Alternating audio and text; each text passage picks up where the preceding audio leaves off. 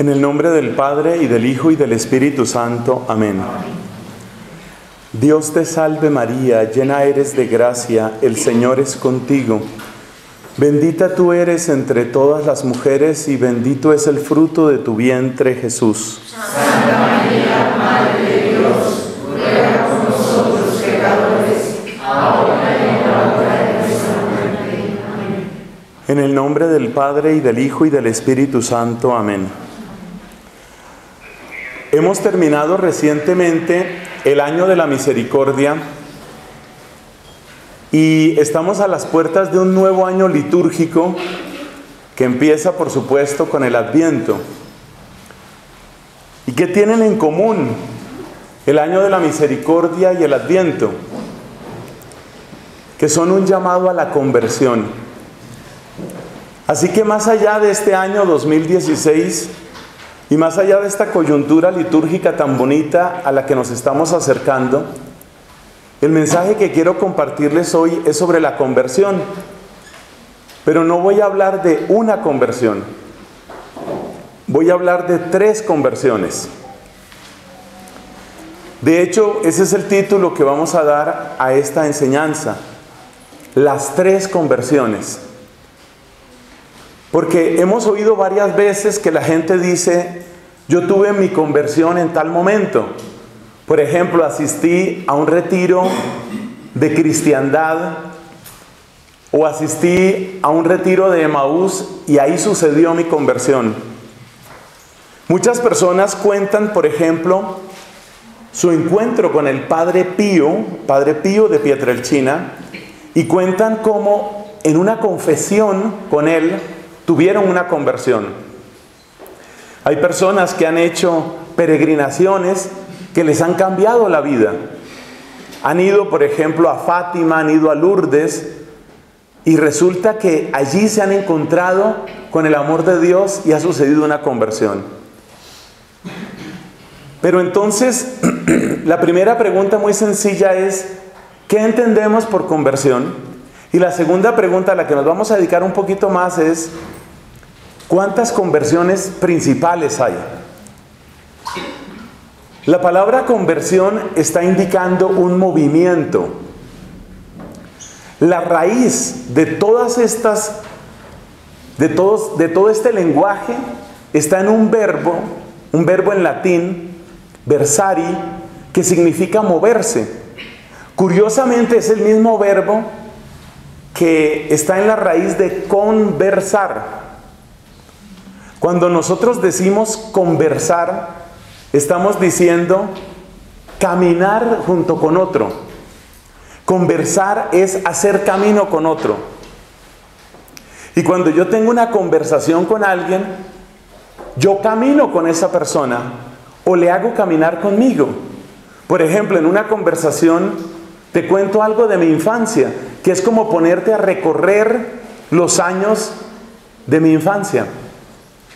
O tal vez en una conversación hablamos sobre un determinado tema y descubrimos que tú tienes razón en algo, yo tengo razón en algo, y entonces hacemos un camino juntos. Eso es una conversación. Bueno, ese verbo, ese verbo es el que está también en la raíz de la conversión. Hay otros verbos que están ahí parecidos, que están ahí muy cerca. Por ejemplo, aversión. Le tengo aversión a tal cosa. Y uno se da cuenta que la aversión es como un rechazo. Incluso hay una palabra que utilizamos mucho en Colombia para referirnos a los cambios que tienen los automóviles. Y hay un cambio que es cuál.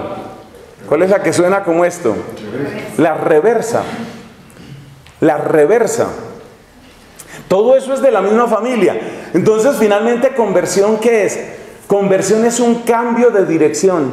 Es caminar en una dirección diferente.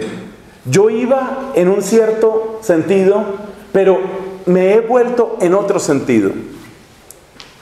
Así, por ejemplo, San Agustín describe lo que es el pecado diciendo, pecado es cuando tienes aversión a Dios y a su ley y tienes una conversión hacia los bienes parciales de las criaturas. Más compacto y más bonito se oye en latín. aversio a Deo et conversio ad criaturas. Cuando te vuelves hacia las criaturas, por ejemplo, te vuelves hacia el dinero, te vuelves hacia el placer, te vuelves hacia las cosas que existen en este mundo, las absolutizas, se convierten en ídolos para ti, ese es el pecado. Pero fíjate cómo San Agustín nos enseña algo muy importante, y es que toda conversión va con una aversión. O sea, siento fastidio de las leyes de Dios y entonces me vuelvo hacia bienes parciales como son los que se encuentran en las criaturas. Aversio a Deus, se dice en latín, et conversio ad criaturas. Y luego dice él, bueno, y entonces, ¿en qué consiste nuestra redención? ¿En qué consiste nuestro cambio de vida? Pues será lo contrario. Es cuando nosotros damos la espalda a los bienes parciales porque buscamos el bien total en Dios. Entonces será aversio a creaturis et conversio a deum. Esa es la vida nueva, según San Agustín. ¿Y qué hace que uno tenga esa conversión? ¿Qué hace que uno busque ese bien mayor? ¿Qué es lo que hace que uno cambie su comportamiento? Porque eso no es automático. El resumen es, el resumen es, porque no me funcionan las cosas que yo creí que me iban a funcionar. Es decir, la mayor parte, la inmensa mayoría, casi digo todas las conversiones, empiezan porque algo no me funciona. Porque veo que han fracasado mis planes, porque veo que han fracasado mis amigos, porque veo que ha fracasado mi confianza. El mejor ejemplo lo tenemos en la Biblia, en la parábola del Hijo Pródigo. Ese hombre o sea, el muchacho ese que pidió la herencia, él se sentía fuerte. ¿Por qué? Soy joven, tengo plata, tengo amigos, tengo placeres, la vida me funciona. ¿Y qué se necesitó para que él tuviera una conversión? Que la vida no le funcionara. Entonces a través de las fracturas de la vida, a través de los fracasos, a través de las heridas, a través de las necesidades más profundas, nosotros decimos tiene que haber otra cosa. En algunas personas ese cambio puede ser impresionante, puede ser dramático. Hace unas cuantas semanas nos estuvo compartiendo su testimonio aquí un señor llamado Álvaro Acuña. Él había sido educado como testigo de Jehová y tuvo un cambio pero, pero profundo. Nos dejó asombrado con lo que nos contó aquí, cómo él llegó a la fe católica. Hay cambios que son así impactantes, impresionantes. La Biblia nos cuenta el caso de un hombre llamado San Pablo. San Pablo era perseguidor. En primer lugar, no era San Pablo. Este hombre era perseguidor de cristianos. Los estaba buscando y no para darles abracitos y besitos. Los estaba buscando para encarcelarlos y para matarlos. Para eso los buscaba. Pero tuvo una conversión, una de las más importantes. De hecho, es tan importante la conversión de San Pablo que tiene su propia fiesta litúrgica. El día 26 de enero nosotros celebramos, no, no es 26, es el 24 de enero, celebramos la conversión de San Pablo, o 25. Me hacen el favor los que tienen ahí su respectivo internet, ayúdenme a averiguar, creo que es 25. 25 de enero celebramos la conversión de San Pablo. Es un hecho tan importante que realmente, realmente tiene su propia fiesta litúrgica. San Agustín es otro de los grandes convertidos. San Francisco de Asís, un gran convertido. En tiempos recientes se recuerdan hombres como este príncipe de los ateos, Paul Claudel en Francia, que se convirtió al catolicismo. Tenemos el caso de la conversión de este hombre llamado Charles de Foucault, el fundador de los hermanitos de Jesús, que también tiene una conversión impresionante. Bueno, terminamos ahí la primera parte. Entonces, conversión, ¿qué es? Es un volverse hacia Dios como bien central de mi vida. ¿Por qué? En la mayor parte de las cosas, de los casos, simplemente porque hay fracturas, porque hay cosas que no me funcionan. Acuérdate de lo que le pasó al hijo pródigo. Cuando se le acabó todo, cuando este hombre se vio con hambre de alimento de cerdos. Ojalá pudiera comer lo que están comiendo estos cerdos. Y el tipo dijo, pero ¿hasta dónde he llegado? Es lo que la gente cuando cuenta su testimonio llama toqué fondo. Eso es tocar fondo. ¿hasta dónde he llegado? ¿Cómo puede ser posible esto? Entonces, cuando se presentan esas fracturas, realmente uno cambia. Y ahí es donde viene ese proceso de conversión. Ahí termina esa primera parte.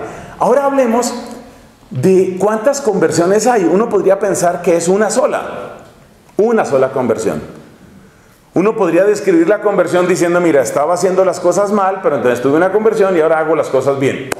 Ya, se acabó, fin de la historia.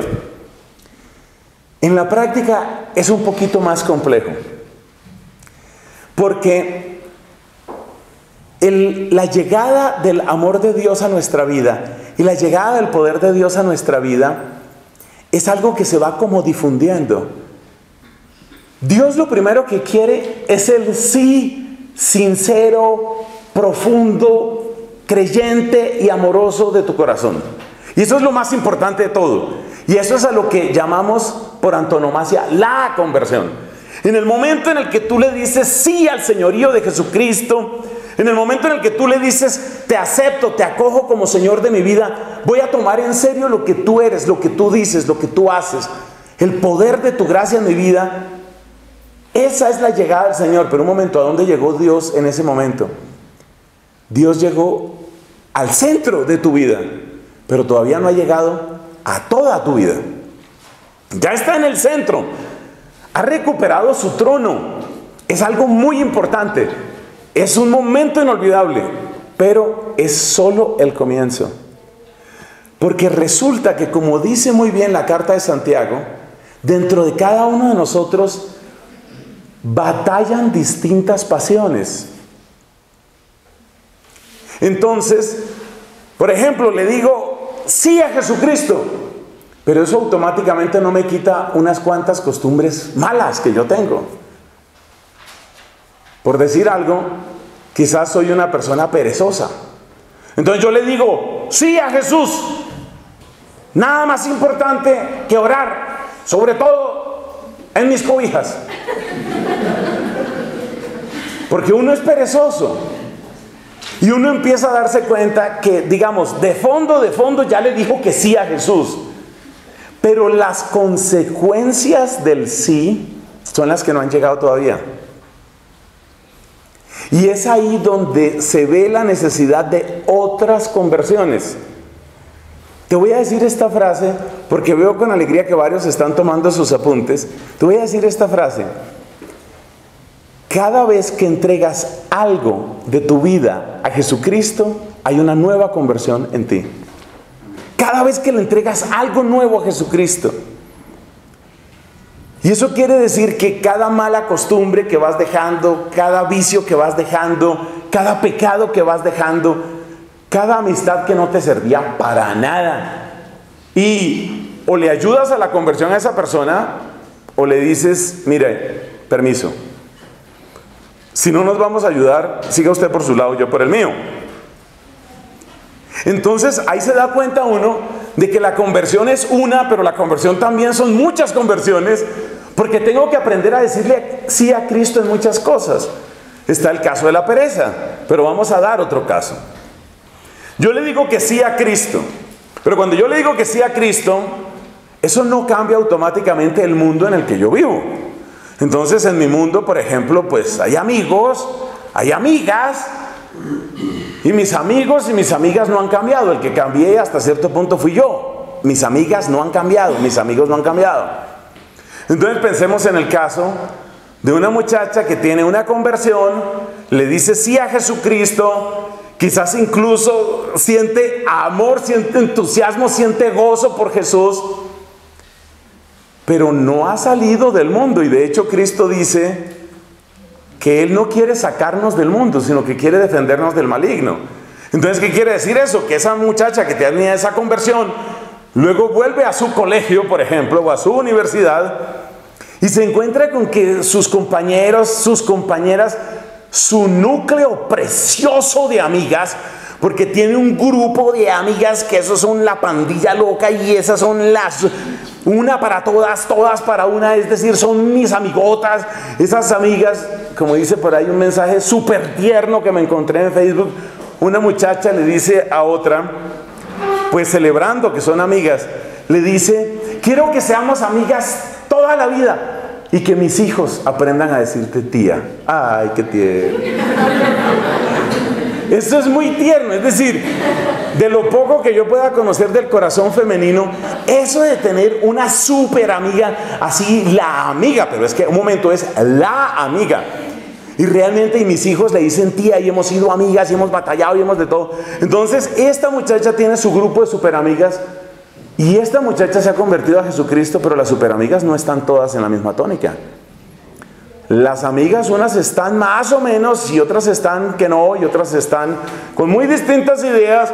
Y en particular hay unas dos o tres que son bastante líderes y esas que son bastante líderes, pues resulta que no son muy católicas. Son súper simpáticas, son súper modernas, son súper pilas, primeros puestos en el colegio, horizonte claro de trabajo en la universidad, hablan tres idiomas, mejor dicho, hasta bonitas son.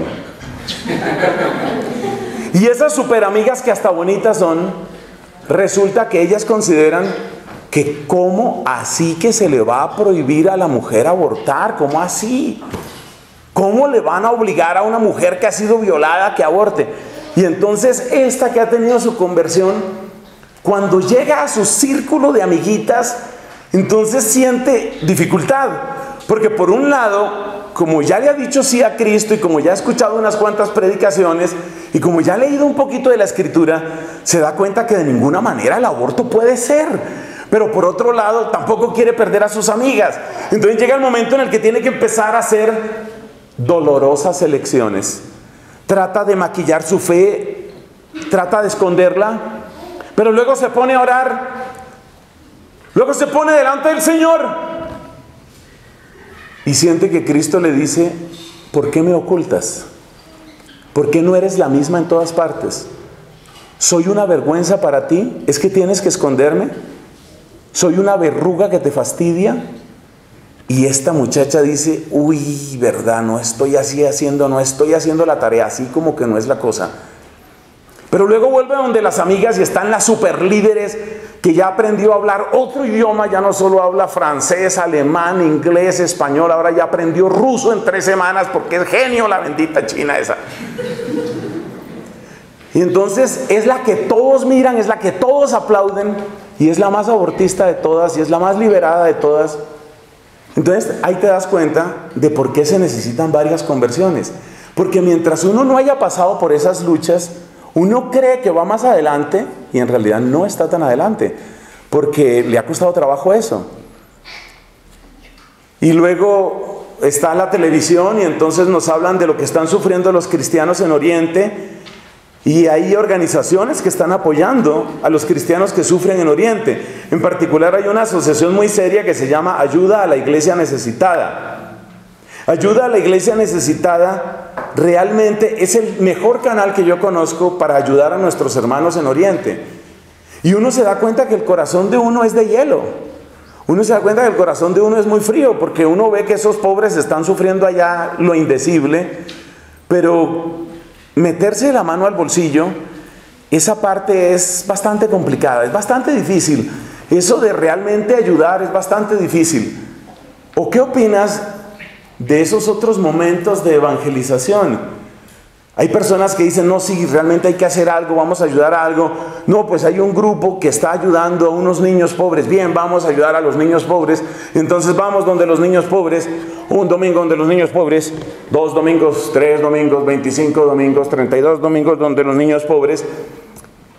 Y se le escapa a uno, se le escurre de entre los dedos una palabra que a todos nos gusta, que es la palabra entusiasmo.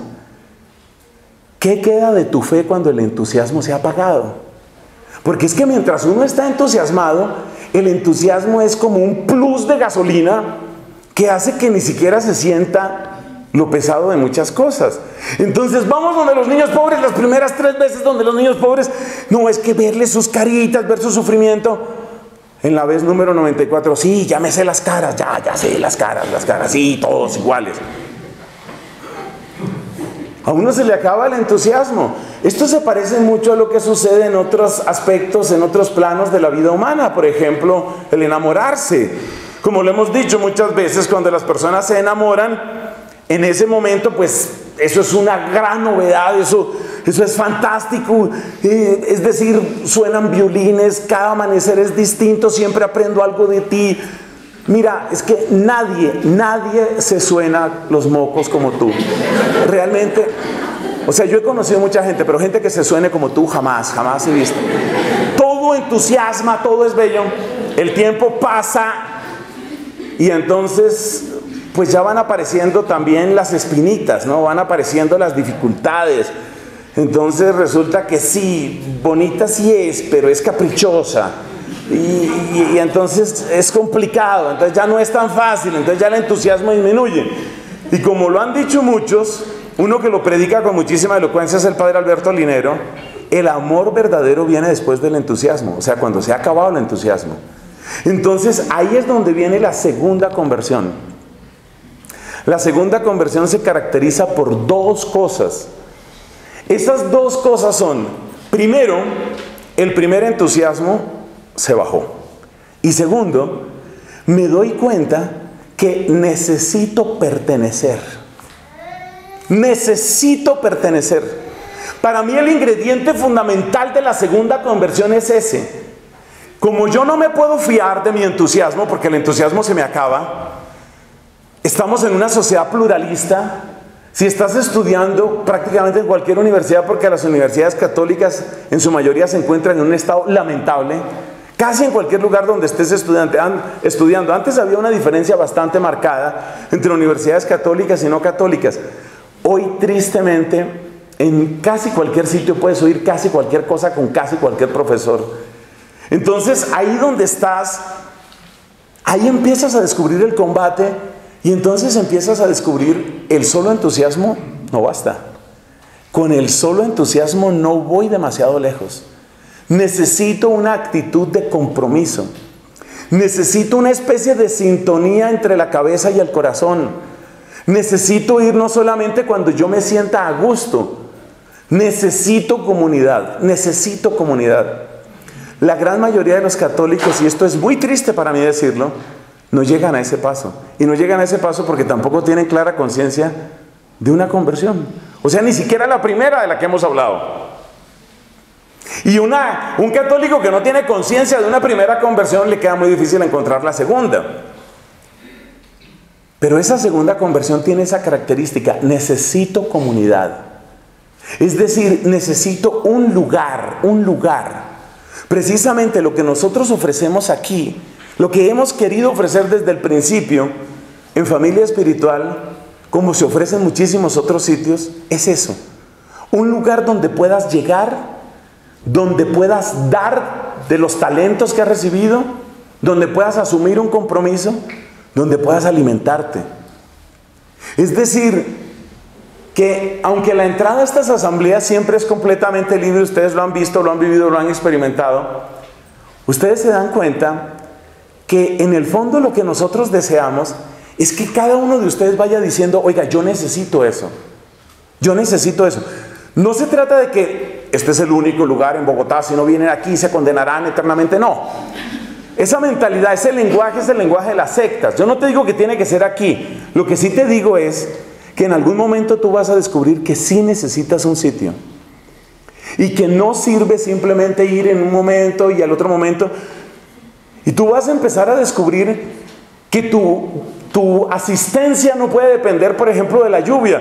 Yo cuando venía aquí con mi sombrilla y trayendo la cámara y trayendo todo, yo decía, ay Dios mío, ¿cuántos habrán llegado? Porque uno también a veces se desanima, ¿no? Cuando llega demasiado poca gente. Y resulta que la respuesta ha sido hermosísima el día de hoy. O sea, ustedes, la gran mayoría de ustedes, quiero pensar, todos ustedes han descubierto que uno no puede depender de que está haciendo frío, de que está haciendo lluvia, tendrá que ser algo demasiado, demasiado complicado para que realmente no pueda ir. Eso es parte de lo que llamamos segunda conversión. La segunda conversión se puede describir también con una palabra, compromiso. Es el momento en el que tú ves, yo necesito estar presente ahí. No es porque me guste, porque no me gusta todo. No es porque me caiga bien la gente, porque no es que me caiga bien toda la gente. No es porque me sienta feliz, porque no siempre me voy a sentir feliz. No es porque todos los mensajes sean espectaculares y perfectos para mí, porque hay muchos que tal vez no los voy a sentir así. Pero esto lo necesito. Es más o menos el mismo descubrimiento que uno hace cuando va donde el médico o cuando le ponen una rutina de ejercicios o cuando tiene que mejorar su canto, su capacidad de cantar. ¿Cómo funciona un coro? La persona no puede pertenecer a un coro simplemente si va algunas veces, pero realmente muy pocas veces, o sea, casi nunca. Pero a veces aparece, pero no se sabe el canto, pero después vuelve, a los seis meses vuelve, así no se hace un coro. Entonces, una persona llega a la conclusión, si realmente quiere cantar bien y si realmente quiere ser parte de un buen coro, llega a una conclusión y es, tengo que sobreponerme. No puedo depender del gusto inmediato, no puedo depender del entusiasmo, no puedo depender de eso. Y ese descubrimiento es precioso, porque ese descubrimiento es el que te lleva a la segunda conversión. ¿Qué es lo que pasa en la segunda conversión? La segunda conversión se ha llamado tradicionalmente en la Iglesia Católica, esa es la parte de la iluminación. La primera parte es cuando tú te deshaces del pecado. A eso tradicionalmente lo llama la Iglesia Católica la vía purgativa. Es cuando tú dices, el pecado tiene que salir de mi vida. Lo que dice San Pablo capítulo tercero la carta a los romanos, no más borracheras, no más orgías, no más desorden. Eso tiene que acabar en mi vida y se acaba ya. Esa es la primera conversión. Eso se tiene que acabar. Esa es la vía purgativa. Purgativa. ¿Qué quiere decir eso? Limpiar, purgar, sacar. Así como cuando se le da un purgante a una persona, bote todo eso, saque toda esa porquería. Es decir, ese es, ese es limpiar. Eso es lo primero. Típicamente, ¿dónde sucede? Una buena confesión. Una buena, esa es la primera conversión. Una buena confesión. Eso usted sacó. Era el año de la misericordia. Usted fue Sufrió muchísimo, pero al fin se pudo confesar. Espero que haya hecho una buena confesión. Usted sacó toda esa basura. Esa es la primera conversión. Vía purgativa. La segunda conversión es vía iluminativa. En la vía iluminativa, ¿de qué se trata? Se trata de formarse en la fe y se trata de sostenerse, consolidarse en la virtud. Es decir, no basta con que yo empiece a sacar malos hábitos de mi vida. Tengo que traer buenos hábitos a mi vida. Y para eso necesito de una comunidad. Eso no se logra solo. Para eso necesito de una comunidad. Para eso necesito de alguien que me pastoree. Por eso ustedes se dan cuenta que desde antiguo en la Iglesia Católica ha existido el tema de los padrinos y de las madrinas. Porque uno tiene un padrino de bautismo, pues básicamente porque para Navidad es el que me da los regalos. Porque uno tiene un padrino, una madrina de confirmación, bueno, porque esa es la persona que me va a ayudar en la cuota inicial del apartamento. ¿Para qué se tiene un padrino o madrina de confirmación? ¿Para qué se tiene? Se tiene porque sé que necesito alguien que vaya adelante y que me ayude a sostener y que me eduque y que me, y que me corrija incluso. Porque estoy formándome, o sea, necesito de otros. Si no estoy con otros, entonces probablemente mis faltas de entusiasmo me hunden. Así como cuando uno se enferma de esa dolencia que se llama el que me importismo. El que me importismo, que también tiene en otras franjas de edad otros nombres que empiezan por M. Entonces, el que me importismo es, como eso, no, no, no tengo ganas de nada, no tengo ganas de nada no tengo ganas de rezar, no tengo ganas. Pues sí, el cristianismo es mejor, pero no tengo ganas. Uno se da cuenta, yo no puedo ser esclavo de las ganas. Yo no puedo ser esclavo de las ganas. Entonces la segunda conversión es cuando uno descubre, no puedo ser esclavo de las ganas. Y cuando uno descubre, necesito formar mejor mi inteligencia y necesito consolidar mejor la virtud en mi voluntad. Sin eso, sin eso me puedo hundir. Sin eso me puedo hundir. Necesito, necesito formar mi inteligencia. El mundo en el que estamos vuelve esto prácticamente una obligación, mis hermanos. Es prácticamente una obligación. Gracias a Dios, muchos de ustedes, incluidos de los más jóvenes, somos buenos amigos y por eso sé lo que están viviendo en la universidad. Y muchos de ustedes saben que prácticamente cada clase, o por lo menos muchísimas clases, son disparos y disparos. Disparos y disparos contra la fe, contra las costumbres, contra la liturgia, contra los santos, contra la postura de la iglesia. Si la iglesia habla, si la iglesia calla, si dijo lo que dijo, si no dijo lo que no dijo. Entonces, Si uno más o menos ha tenido un poquito de conversión, uno dice, no, yo necesito formarme. Yo necesito aclararme y por eso uno de los pilares en, en los que hemos insistido aquí es ese. Necesitamos formación. ¿Por qué? Porque si a uno lo están atacando por todas partes, yo ¿en qué me apoyo? ¿En qué me voy a apoyar? Entonces la segunda conversión es cuando uno llega a esa conclusión, uno dice, yo necesito formarme, necesito aclarar mis ideas, pero además de eso, necesito consolidar buenos hábitos porque no quiero depender de mi temperamento, no quiero que me dé la enfermedad del que me importismo, no quiero que me dé esa enfermedad, yo quiero yo quiero ser capaz de vencerme, yo quiero ser capaz de ir más allá de lo inmediato. Eso es lo que necesito. Esa es la segunda conversión. ¿Cómo se conoce tradicionalmente? Vía iluminativa. La primera era la vía purgativa. Es cuando usted saca toda esa basura y usted dice, no más pecado en mi vida, no más. Y respira profundo y dice, de verdad es la mejor decisión que he tomado. Esa es la primera conversión. La segunda conversión es cuando usted dice, no puedo ser esclavo del capricho, no puedo estar como una veleta cuando quiero, cuando no quiero. De verdad necesito formarme y de verdad necesito cambiar mis costumbres. Voy a tomar esto en serio. Voy a comprometerme. Y para eso necesito padrinos y madrinas y guía y ayuda. Necesito comunidad. Esa es la segunda conversión. Recuerde lo que dijimos antes. La redención que Cristo trajo fue como un misil, me encanta compararlo con eso, un misil del amor de Dios que ha llegado a nuestro pecho. El, el amor de Jesús ha llegado a nuestro pecho y Cristo nos ha conquistado y sentimos que Él es el Señor. Pero de mi pecho tiene que salir la luz para todo mi ser. Entonces, ¿cuál es la etapa más larga de la vida? La etapa más larga de la vida es esta segunda conversión. Porque esta segunda conversión incluye la proclamación del señorío de Cristo en todas las áreas de mi vida. Y todas son todas. Todas son todas. Vamos a recordar un poco cuáles son esas múltiples áreas de la vida. Y ahí vamos a darnos cuenta por qué esta segunda conversión realmente le toma a uno la mayor parte de la vida. Luego hablaremos brevemente de la tercera conversión y luego haremos una oración y ese es el tema de hoy. ¿Por qué, ¿Por qué esta segunda conversión toma tanto tiempo? Respuesta, porque las áreas de la vida humana son muchas. Y uno muchas veces no se da cuenta de las áreas de la vida de uno que no están convertidas. Uno no se da cuenta de que en realidad uno es una especie de... A ver, esto no suena bonito, pero uno es como una especie de monstruo porque una parte de uno sí está convertida y otra parte no está convertida. O sea, una parte mía está en el Nuevo Testamento y otra parte está en el Antiguo, por decir algo.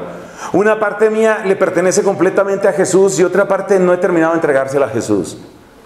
Entonces, hay que, ¿cómo se da este proceso de conversión? Esa es la importancia de una palabra que tendrá que tener cada vez más peso entre nosotros y es la palabra discipulado. Para eso necesitamos aprender a ser discípulos. Discípulo es en el fondo lo que es un bautizado con su padrino o madrina, lo que es un confirmado con su padrino o su madrina.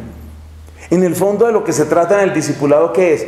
Una personita que me vaya recordando áreas que tal vez yo estoy descuidando.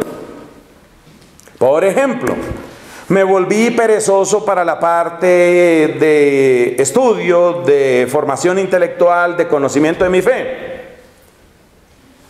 Porque algunas personas pueden sentir esa pereza, esa pereza de, al fin saber que si la Biblia tiene 66 libros o tiene 73 libros, que unos dicen una cosa, otros dicen otra, y entonces por ahí dicen algunos, pues partan diferencia. Entonces, hay gente que quiere resolver las cosas de ese modo. Entonces, ¿cuál es el problema? No peleemos. Pero en el fondo es pereza intelectual. Si uno tiene alguien alguien que le esté sonando una campanita y le esté diciendo, ¿te has dado cuenta que realmente tu formación en la fe es muy, pero muy coja? ¿Verdad? Sí, muy coja.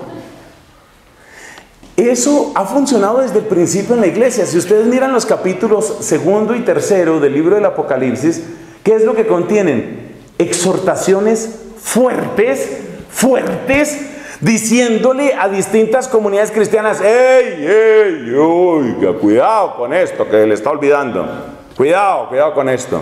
Oiga, se está escapando por aquí. Cuidado que no le ha puesto cuidado a esta cosa. Esas son esas cartas del Apocalipsis. Y me llama mucho la atención la carta que se le envía, por ejemplo, a Sardes, una de las comunidades de ese tiempo, donde le dice, tienes nombre de vivo, pero estás muerto. No te has dado cuenta de lo que está sucediendo dentro de ti. Y tú crees que ves, pero estás ciego. Y tú crees que oyes, pero estás sordo. O sea, uno sí necesita alguien que le hable a uno. Uno sí necesita a alguien que lo cuestione. Y por eso es largo el proceso de esa segunda conversión. Y yo les invito a que tomemos en serio esas palabras que muchos toman solamente en juego, palabras como esas que hemos dicho de los padrinos o de las madrinas, tomen eso en serio. Tomen eso en serio porque esos son instrumentos del Espíritu Santo para recordarle a uno las cosas, para recordarle a uno quién es. O sea, ¿cómo crecería un niño? Es posible que sobreviva, y esos casos se han dado, un niño que no tiene ni papá ni mamá, ahí entre las fieras, hay unos cuantos casos en la historia de la humanidad donde hay seres humanos que han sobrevivido así, pero quedan baldados para siempre, pierden el uso del lenguaje, no logran un desarrollo intelectual, no logran un desarrollo social. O sea, el ser humano está hecho para crecer con otros. Estamos hechos para recibir de otros, por una parte, el ánimo que se necesita, los abracitos que se necesitan, pero también una persona que me diga, se te está olvidando esto, cuidado con esto, yo creo que aquí te equivocaste. Y ahí es donde entra la carta a los hebreos que nos dice, Ninguna corrección nos gusta mientras la estamos recibiendo. Entonces, eso quiere decir que cuál es el ingrediente principal en la segunda conversión. El ingrediente más importante en la segunda conversión es la humildad. Porque el demonio hará todo lo posible y casi lo imposible para que tú te desconectes. O sea, el demonio sabe muy bien que mientras tú estés conectado al Señor, mientras tú estés conectado a la oración, mientras tú estés conectado a la palabra de Dios, mientras tú estés conectado a los sacramentos, mientras tú estés conectado a la comunidad, mientras estés conectado a la iglesia, no es posible vencerte. Hay un ejemplo que muchas veces se ha dicho, ustedes han visto esas películas, esos documentales, donde por ejemplo un tigre o un león están persiguiendo una manada, por ejemplo, de cebras. Y ustedes han visto que todo el trabajo del león es lograr que una de las cebras se separe. Una vez que está separada, entonces es posible caerle. Entonces, esto es muy importante para entender. Cada conversión supone una victoria sobre el poder de las tinieblas. Y el poder de las tinieblas no quiere soltar su presa. Y esa presa, a ver, esto es muy feo decirlo, pero esa presa somos nosotros o éramos nosotros. Por eso dice San Pablo en el capítulo segundo de la carta a los Efesios, eso erais vosotros. Entonces nosotros éramos esa presa que el demonio sentía segura. Nosotros éramos la presa que él sentía segura en sus garras, en sus fauces. Una persona como María Magdalena, el demonio la sentía totalmente segura. Era realmente una legión, era, era un grupo de demonios lo que se le había entrado a esa mujer. Es decir, esta ya está segura. Y llega Cristo y le arranca esa presa. Por eso dice la carta a los colosenses, nos ha sacado del dominio de las tinieblas, del poder de las tinieblas. Y uno tiene que entender que cada conversión, hermanos, cada conversión es siempre una victoria sobre las tinieblas. Pero las tinieblas, es decir, el pecado, el demonio, no sueltan su presa fácilmente. Eso nos obliga a devolvernos por un momento a la primera conversión para empezar a ver qué tipo de combates son los que se dan.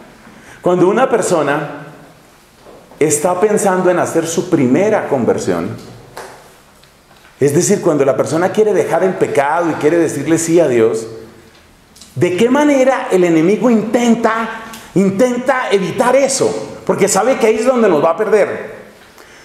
Hay varios modos de describirlo. Uno de esos modos es la parábola del sembrador. Por ejemplo, por ejemplo, la parábola del sembrador nos dice que una parte de la semilla cayó y llegaron los pájaros y se la comieron inmediatamente. ¿Eso a qué equivale? El demonio quiere que tú te distraigas continuamente, que cada vez que haya un mensaje de Dios, tú estás muy ocupado, estás muy distraído, tienes que ir a una fiesta, tienes que hablar con un amigo, hay una música especial, me estoy acordando de no sé qué, hoy no estoy de ambiente. Es decir, a toda costa, a toda costa el enemigo quiere que tú no oigas que tú no oigas. Porque si tú empiezas a oír la palabra de Dios, esa palabra es como espada afilada que llega hasta la juntura del alma y del espíritu, dice la carta a los hebreos. Y esa palabra tiene poder porque no va a volver al Señor sin dar fruto. Entonces el enemigo a toda costa quiere que tú no oigas esa palabra. Quiere mantenerte distraído. Quiere llenarte de prejuicios hacia la iglesia. La iglesia me odia, me detesta, la iglesia no me quiere. No me quiere porque... Eh, por muchas razones. Por ejemplo, la iglesia no me quiere porque la iglesia no quiere a los pobres, o la iglesia no quiere a los ricos, o la iglesia no quiere a los homosexuales, o la iglesia no quiere a las mujeres. La iglesia no quiere a las mujeres, la Biblia es un libro machista, patriarcalista. Ese es el lenguaje del demonio. ¿Por qué? Porque el, el, demonio quiere a toda costa que tú no toques ese libro, que no toques. Porque si tú llegas a tocar ese libro, si tú llegas a volverte amiga de ese libro que se llama la palabra de Dios, si tú empiezas a leer la palabra de Dios, con frecuencia, eso va a producir un impacto impresionante dentro de ti. No, no, no, esa Biblia no, tú no la vas a poder entender. Además la Biblia está contra la mujer, además la Biblia es retrógrada, además la Biblia, la Biblia está en contra de todo lo más avanzado del mundo y además la Biblia te va a hacer amargada, además la Biblia te va a llevar. Toda esa baba suelta el infierno tratando de evitar que tú oigas esa palabra. Luego nos dice la parábola del sembrador que hay semilla que cae y que crece pero que la tierra es demasiado delgada, es decir, esa es la superficialidad. Entonces, si el demonio ve, no pude hacer nada, sí oyó. Bueno, entonces, ya que oyó esa palabra, que la tome de una manera superficial. No, mira, ya tú estás bien, o sea, no seas fanático, no seas fanática. Mira, no exageres, no hay que exagerar la nota, es decir, tampoco tanto. Basta con eso. Ya les he contado la historia de aquel señor que se acercó y me dijo, por hacerme conversación por ahí en una recepción. Me decía el Señor, eh, Padre, qué gusto verlo, qué bien se ve usted con ese hábito, se ve menos deforme, Padre. Algo así me dijo, el tipo trataba de ser amable, ¿no? Se ve eh, un poco menos buñuelo, Padre, qué bien. Bueno, y en medio de su conversación el tipo este dice, yo soy católico, yo vengo de una familia muy católica, pero yo no soy fanático. Fanático sí no soy. ¿Y qué entendía él por ser fanático? Por ejemplo, y le pregunté yo, ¿no? ¿Y qué entiendes tú por ser fanático? me dice, fanático, esa gente que está cada ocho días en misa.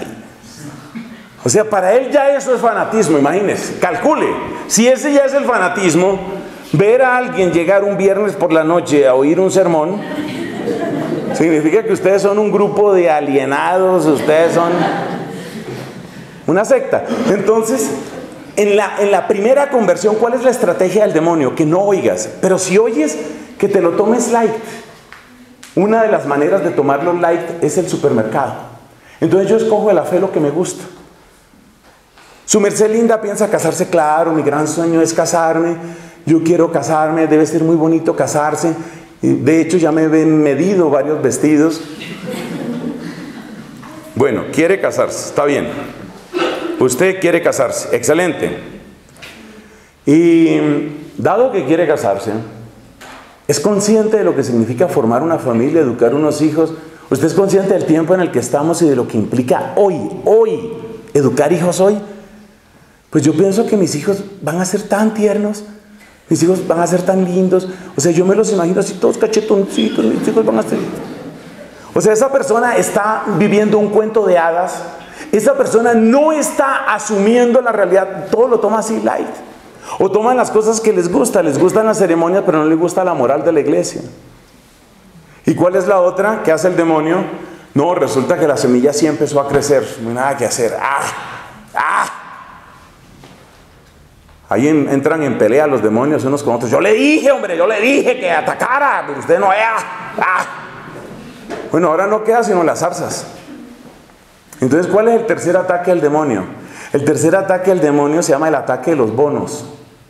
¿Por qué se llama así? Porque el ataque de los bonos es te voy a llenar de tanto trabajo, te voy a llenar de tantas cosas, te voy a llenar.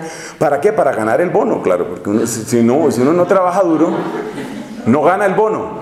Entonces el ataque de los bonos, tengo que trabajar, trabajar, trabajar muchísimo.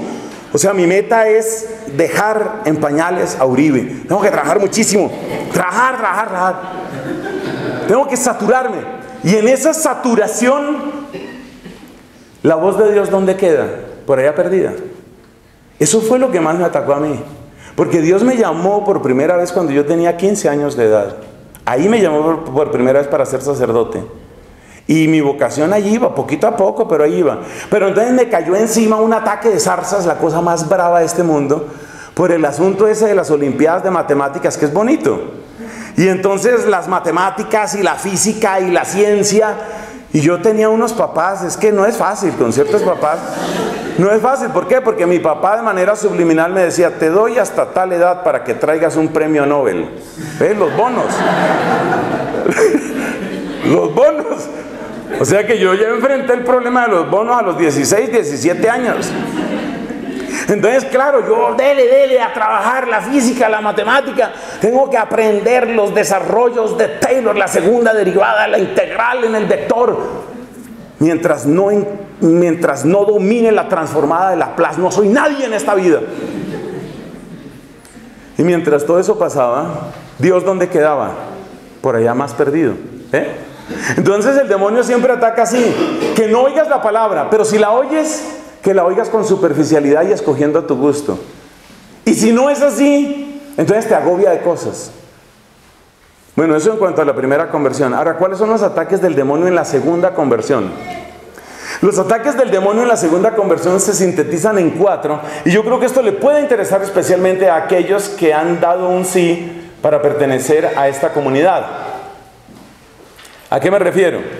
A que son personas que quieren tomar en serio su segunda conversión. No digo que ellos sean los únicos que están en segunda conversión, seguramente muchos más, pero me refiero a las personas que están dando ese paso. Entonces, ¿qué sucede? Sucede y acontece que en la segunda conversión también está el ataque del enemigo. ¿Qué es la segunda conversión? Es formarse en la fe y es consolidar la virtud perteneciendo a una comunidad. Esos son los tres elementos. Formarse en la fe, consolidar buenas costumbres, o sea, consolidar la virtud, pero además, ¿además qué? Además perteneciendo a una comunidad. Y por esos tres lados te va a atacar el enemigo. Como esos son los tres objetivos de la segunda conversión, entonces el enemigo te va a atacar por esos tres lados. ¿De qué modo? Va a reemplazar la sabiduría con retórica.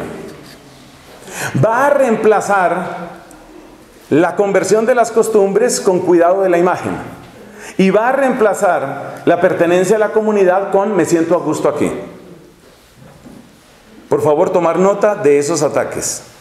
El primer ataque, ¿cuál es? A ver, Dios a quién nos llama en la segunda conversión. Dios nos llama a que crezcamos en la sabiduría. Eso nos llama, que crezcamos en la sabiduría. Pero entonces el demonio dice, mira, no es tanto asunto de sabiduría, es asunto de, de saber manejar lenguaje, es asunto de retórica. Y cuando se pasa de la sabiduría a la retórica, entonces muy fácilmente se pasa, por ejemplo, de un sacerdote a un pastor protestante, o se pasa de un ministerio de música que no lo veo prácticamente existente hoy. ¿Sí? Veo una parte, una zona vacía. Entonces, de un ministerio de música inexistente, se pasa a ese sí es el grupo Ah, es que hay que ver el culto que se da allá donde el pastor no sé cuánto. Entonces, ¿cuál es el problema de la retórica? La retórica no se preocupa por la verdad, se preocupa solamente por la sensación. Entonces, por ejemplo, yo quiero paz, busco paz. Yo he encontrado paz en Cristo, pero últimamente no sé, no encuentro paz en Cristo, entonces estoy haciendo un curso de meditación. Entonces estoy haciendo meditación zen para encontrar la paz. Eso es lo propio de la retórica. Que tú no sepas ni siquiera a qué horas cambiaste la fe. Porque lo único que interesa es la sensación, lo único que interesa es el efecto. Entonces, el verdadero propósito de la segunda conversión es que tú avances en el conocimiento de tu fe y te formes. Te formes es que tengas verdaderas convicciones y tengas claridad sobre qué es lo que creemos y vivimos en la Iglesia Católica. Pero la retórica, ¿qué es? La retórica es la palabrería que simplemente funciona. Lo que funciona. Entonces reemplazamos lo verdadero por lo que funciona. Esa es la primera tentación. Reemplazar lo verdadero por lo que funciona. A mí el yoga me funciona perfectamente, perfectamente. Entonces yo me quedo con el yoga. Yo realmente tengo claros mis principios. Yo no necesito estar yendo por allá. Yo ya sé lo que es bueno y lo que es malo. No tengo necesidad de eso. Entonces fíjate, reemplazar lo verdadero por lo que funciona, por lo que me funciona. Y yo con eso me siento bien. En cambio, yo no sé, yo a veces voy a la iglesia y entonces los padres están siempre hablando que el pecado, que el pecado, que el pecado, que arrepentirse. y no, no, no sé, yo me tensiono, me siento mal, hay veces que se me inflaman los tobillos, una vez se me crecieron las orejas, no sé, no me siento bien, realmente no me siento bien. Entonces yo necesito sentirme bien, yo necesito algo que a mí me funcione. Esa es la gran tentación o la primera gran tentación en la segunda conversión. Reemplazar lo verdadero por lo que funciona. ¿Cuál es el segundo objetivo en la segunda conversión? El segundo objetivo es consolidar la virtud. Consolidar la virtud significa ser bueno, ser de verdad bueno, de verdad. ¿Y cuál es entonces la segunda tentación? Crear la apariencia de que soy bueno. Es decir, aprender a manejar la imagen. Y entonces yo he conocido, y tal cuántas veces habré caído en eso por Dios, he conocido muchos católicos que manejan la imagen simplemente. Uno maneja la imagen de buen papá, uno maneja la imagen de buen esposo, uno maneja la imagen de buen amigo, uno maneja imagen. Y el manejo de imagen es un verdadero peligro, porque esa no es tu realidad. ¿Y sabes dónde se empieza a notar eso? En que uno se cansa de hacer un papel, ¿cierto? Un actor no puede estar siempre actuando. Entonces, ¿qué pasa? Que tal vez yo en el grupo o en la comunidad me manifiesto como una persona alegre, simpático, entrador, soy amigo de todos, bien, ¿y qué más? ¿Todo bien? Sí, soy el gran líder, yo saludo más que George Bush, o sea, una cosa impresionante. Pero, pero, ¿Qué pasa? Que, por ejemplo, yo soy un hombre casado. Entonces, ahí sí, como decía mi madre, que ese refrán es tan común, luz de plaza, oscuridad de casa. Entonces resulta que la imagen yo la logro sostener, pero afuera, afuera, pero los que viven conmigo tienen otra versión de lo que soy yo. ¿Por qué? Porque en el fondo yo lo único que he cuidado es una imagen. Y mantener una imagen todo el tiempo es simplemente imposible. Llega el momento en el que se demuestra quién eres tú en realidad. Y ahí es donde la persona en medio de su agotamiento, la persona en medio de su cansancio de representar un papel ya no da más. Entonces la primera tentación cuál es? Reemplazar lo verdadero por lo que me funciona. La segunda tentación es reemplazar la bondad y la virtud, reemplazarlas por qué? Por una imagen, por sostener una imagen. Y con respecto a la comunidad, ¿cuál es la gran tentación? La gran tentación es erigirse uno en juez implacable, juez implacable de todos los demás. Todos los demás. Entonces, sí, pues yo al principio me sentía bien, pero no sé, eso hay tanta envidia y tanto chisme, es que todo el mundo, no sé, hay como un mal ambiente. Y en el fondo pueden tener razón los que dicen eso. Porque claro, todos los que estamos en una comunidad religiosa o todos los que estamos en una comunidad laical, todos los que pues somos imperfectos. Entonces, si yo me pongo a hacer una lista de las imperfecciones de mis hermanos que viven aquí en el convento de Santo Domingo, y si ellos hacen la lista de las mías sobre todo, te aseguro que son listas muy largas. Entonces el enemigo se aprovecha de eso. Si te has dado cuenta, lo fea que es la gente allá. Oye, es que hay gente, pero, pero con ganas, con verdad, con impulso. Son feos con impulso. Es una cosa grave, es una cosa grave. Entonces el enemigo empieza a mostrarte y a subrayarte los defectos de los demás. Si te diste cuenta cómo te hablaron, si te diste cuenta que te excluyeron, si te diste cuenta que hubo para todos menos para ti. Porque el enemigo quiere eso, quiere que tú te indispongas con la comunidad, de manera que tú te conviertas en juez de la comunidad. Y cuando uno se convierte en juez de la comunidad, lo que ha criticado tanto el Papa Francisco, cuando uno se convierte en juez de la comunidad, ya uno no es hermano, ya uno no ayuda a construir, porque lo más importante de ser juez, ¿qué es? Lo más importante es manos atrás, levantar la barbilla, dejar de trabajar y empezar a ver quién está fallando. Y eso es muy fácil. ¿Por qué? Porque como todos vamos en camino, ¿qué quiere decir que vamos en camino? Que no hemos llegado. ¿Y qué quiere decir que no hemos llegado? Que tenemos muchas, muchas, pero muchas imperfecciones. Y si tenemos muchas, pero muchas imperfecciones, hay mucho que criticar. Mucho que criticar. Ustedes saben que con frecuencia yo hago algunos apuntes con respecto a mi situación y peso corporal. Pues una vez me encontré en, estos videos que publico en YouTube la gente le pone unos comentarios. A mí me tocó moderar los comentarios porque hay gente que blasfema de una manera espantosa, de una manera asquerosa, sobre todo lo que es contra Cristo, la Virgen es terrible. Entonces yo no dejo los comentarios automáticos, salvo algunas personas que ya uno va conociendo, porque hay gente que blasfema de una manera escandalosa. Entonces salen cosas chistosas en los comentarios que por supuesto no publico. Por allá un señor decía, ¿y usted quiere que yo le crea a usted, gordo? es decir, él sentía, ¿cómo puede Dios obrar en medio de tanto, tanto, pero tanto tocino. ¿sí? Realmente, la gracia penetra la grasa. Esa era, la, la, pregunta teológica de él, ¿no? O sea, lo importante que es atacar. Y si no es por eso, sería por calvo o por feo o por lo que sea. Siempre es fácil encontrar algo para atacar a los demás, siempre. Y uno siempre encuentra, siempre encuentra. Por ejemplo, usted, señora, ¿por qué me mira rayado? Desde que yo llegué, usted no ha hecho sino reírse. ¿Por qué me mira así? ¿Por qué se ríe? ¿Por qué? ¿Eh? Entonces, si se ríen porque se ríen, si me tratan porque me tratan. Y eso es el demonio. Mejor dicho, esa es estrategia del demonio. ¿Para qué? Para que uno saque la única conclusión posible. ¿La conclusión cuál es? Yo ya aprendí lo que tenía que aprender yo ya sé lo que es bueno y lo que es malo. Yo no necesito estar por allá en grupitos y grupitos y más grupitos y estar ahí todos y, cantar y no, ah, qué cuento, ya yo sé lo que es bueno, es un tipo serio, ya sé lo que es bueno. Entonces uno se entra en el individualismo. Pero más que eso, lo que el enemigo quiere, ¿sabes qué es? ¿Sabes qué es? Devolverte a Egipto. Lo que Él quiere es devolverte a Egipto. ¿Te acuerdas cuando iban los israelitas en el desierto que les parecía imposible seguir avanzando? Y entonces, ¿qué era lo que el demonio les ponía en el corazón? Devuélvanse, nombren un líder y devuélvanse a Egipto.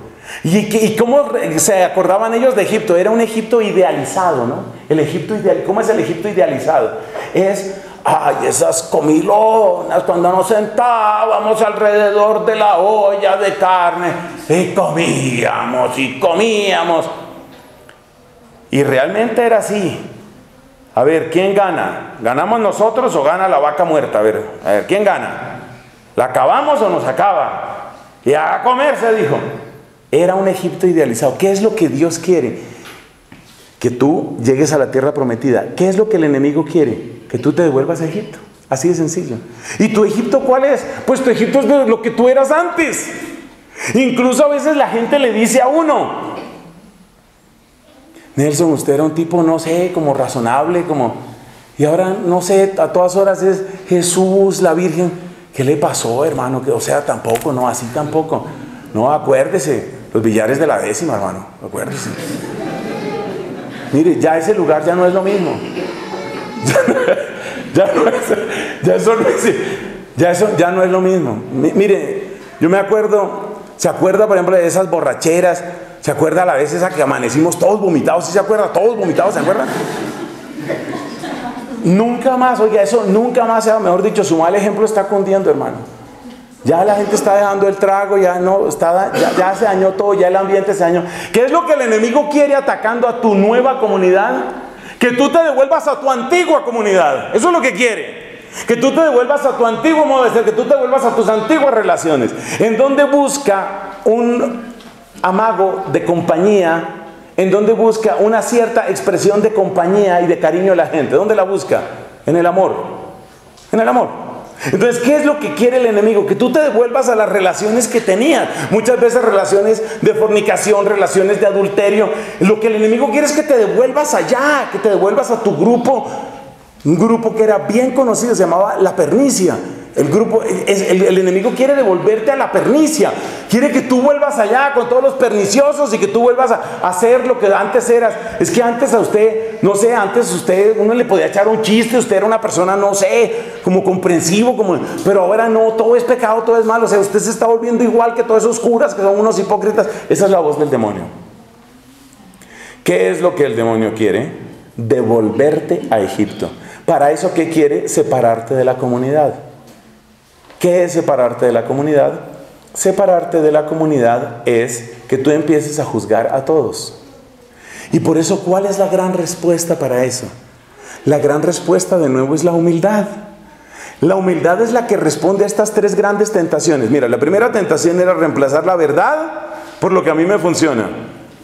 Pero yo me doy cuenta un momento, es que tal vez lo que yo creo que me funciona a largo plazo me va a hacer daño. Yo no puedo poner mi criterio en primer lugar. El segundo, ¿cuál era? Reemplazar el crecimiento en la virtud por simplemente guardar una imagen. La humildad, ¿cuál es? La humildad es la verdad, dice Santa Teresa. Ese no soy yo en realidad. Yo tengo que aprender a ser lo que soy en verdad. Y lo mismo aquí. En, mi comunidad hay defectos, hay fallas. En nuestros líderes hay defectos, hay fallas. En nuestros pastores hay defectos y hay fallas. Pues sí. La verdad es que sí. No vamos a tapar el sol con una mano. La verdad es que sí hay fallas. Pero el enemigo quiere que yo me devuelva a Egipto. ¿La humildad cuál es? Mis pastores tal vez tienen fallas, los que nos dirigen tal vez tienen fallas, pero yo también tengo fallas. Entonces lo que tenemos que hacer es activemos corrección fraterna, activemos diálogo, activemos oración unos por otros y sigamos caminando. Esa es la respuesta a esas tentaciones. Esa es la respuesta. Entonces las tres grandes tentaciones, por última vez repito, son cambiar la verdad por lo que a mí me funciona, cambiar la virtud por simplemente cuidar una imagen y cambiar la comunidad por el grupito ese fantástico que yo tenía, la pernicia. Ese era un grupo, esa, esa gente, uy, esa gente yo la recuerdo con un cariño tan especial. O sea, si no se hubieran suicidado, ¿verdad que hubiéramos hecho cosas, pero muy buenas, muy, muy buenas? Bueno, mencionemos brevemente la tercera conversión. ¿Qué pasa cuando una persona ha caminado en la segunda conversión? La persona que ha caminado en la segunda conversión realmente ha empezado a crecer en distintas áreas de su vida. En sus afectos ha madurado. En su sexualidad, que sigue el plan de Dios de acuerdo con su estado. En su economía, que no la quería mencionar porque yo soy tímido para el asunto de la plata, pero la economía también tiene que ser evangelizada. O sea, tu economía, tú, tú, ¿qué aportas tú? ¿Tú qué aportas para la evangelización en la iglesia católica? ¿Tú qué aportas para el servicio de los más necesitados? De lo tuyo, de lo tuyo. ¿Qué aportas? Entonces es necesario que la conversión llegue a todas esas áreas. A mi desempeño social, yo no puedo ser una persona con mis amigos, otra persona con mi papá, otra persona en el grupo y otra persona cuando nadie, nadie me está viendo. No puedo ser distintas personas. ¿Qué es crecer en esta segunda conversión? es realmente otorgarle todas las llaves a Cristo. Que Él pueda entrar a todas las áreas de mi vida. Que pueda entrar a mis amistades, a mi descanso, a mi plata, a mis afectos, a mi cuerpo, a mi historial de internet. Que Cristo pueda entrar a todo lo que yo soy. Eso es segunda conversión. Bueno, uno podría decir, ya ahí está todo, ya qué más le hace falta. O sea, si ya Cristo es Señor de todas las áreas de su vida, ya, y usted tiene un compromiso y usted pertenece a una comunidad, pues ya se logró todo, listo. ¿Qué, sigue de ahí? Pues canonizar. Canonizar a la persona, o sea, ya lo logró. Ya, muy bien, ok, ok. Logrado. ¿Cómo, cómo, es que dicen eh, meta cumplida? No, ¿cómo es? La, la expresión esa que dicen, ¿no? Cuando una cosa ya se ha realizado. Entonces dicen, hombre, como es de una expresión. No, no, no. Es otra expresión que se utiliza ahorita, quizás ahorita me acuerdo. Cuando ya se logra un determinado resultado, ¿no? Meta cumplida, una cosa así se dice. Tampoco es esa, pero bueno. Entonces, después de que toda esa conversión se ha dado, después de que toda esa conversión se ha dado, es decir, que uno ha crecido en la humildad y en la coherencia, se ha formado en su fe, ha aprendido a ser comunidad, ese es un grandísimo avance. Eso toma años, años, años, años. Pero después de que eso se ha dado, ¿qué sigue? ¿Qué es lo que sigue? Entonces nosotros miramos pues a nuestro punto de referencia que es Jesucristo. Miramos a Jesucristo y nos damos cuenta que Jesucristo pues por supuesto tiene su comunidad, por supuesto ilumina con su ser, por supuesto en él se da toda virtud, Ah, pero hay un momento en el que Él dice, hay que ir a Jerusalén. Y hay un momento en el que Él dice, hay que entregar la vida. Y hay un momento en el que suelta esta frase, no hay mayor amor que dar la vida. O sea que La vida cristiana no es simplemente una vida buena, es una vida entregada. Es una vida entregada. Me llama la atención lo que dice San Pablo, por ejemplo, me parece que es a los Corintios. Habíais llegado a ser tan, tan valiosos para nosotros que queríamos entregar hasta nuestra propia vida. Es decir, llega el momento en el que el amor y el servicio no consiste en hacer algo, sino consiste en entregarse a uno mismo, en darse a uno mismo. Y eso es lo propio de la tercera conversión. A esa tercera conversión se le llama tradicionalmente en la Iglesia Católica la vía unitiva. Y el signo propio de esa tercera conversión no es otro sino la cruz. Es decir, es el deseo de consumirse por Cristo, es el deseo de fundirse con Cristo, por eso se llama vía unitiva. Es el deseo de ser uno con Cristo. Llega el momento en el que el amor a Cristo trasciende toda palabra. Eso es lo que les pasa a los santos, eso es lo que les ha pasado a los mártires, eso es lo que les ha pasado a los místicos. Llega el momento en el que se trasciende de tal manera todo límite que la persona dice, yo quiero unirme a Cristo. Mire, las personas que hayan amado entienden esto y sobre todo los que aman con intensidad a su pareja, esto lo van a entender muy bien. Porque amar, sobre todo en el amor esponsal, en el amor de pareja, siempre supone un deseo de estar donde está el amado. Y lo que te pase a mí, a ti, que me pase a mí. Es que esa es la cumbre del amor. Yo no puedo decir que te amo totalmente si no quiero que me suceda a mí lo mismo que te sucede a ti. Entonces, ¿qué es lo que le ha pasado a un Santo Domingo? Santo Domingo de Guzmán, el fundador nuestro, se queda mirando. ¿Cuántas veces contempló Santo Domingo esa cruz? Santo Domingo se da cuenta que Cristo lo entregó todo, que Cristo amó hasta el final, que realmente en el sacrificio de su propia vida fue donde pronunció verdaderamente el amor en toda su extensión. Y, Domingo siente, a mí todavía me falta. De tanto, de tanto ver a ese Jesús, Domingo siente, todavía me falta, yo quiero ser como Él, yo quiero llegar allá. Yo quiero también entregarme así. Yo quiero unirme a Él. Lo que le pasa a una esposa con el esposo. Eso no es simplemente la unión de amor, la unión íntima. Es, es eso, es quiero compartir tu suerte. Por eso se habla de cónyuge, el que lleva el mismo yugo. Es que estamos compartiendo lo mismo, consorte, el que comparte la misma suerte. Quiero compartir la misma suerte, el mismo yugo, quiero que me pase a mí lo que te pasa a ti.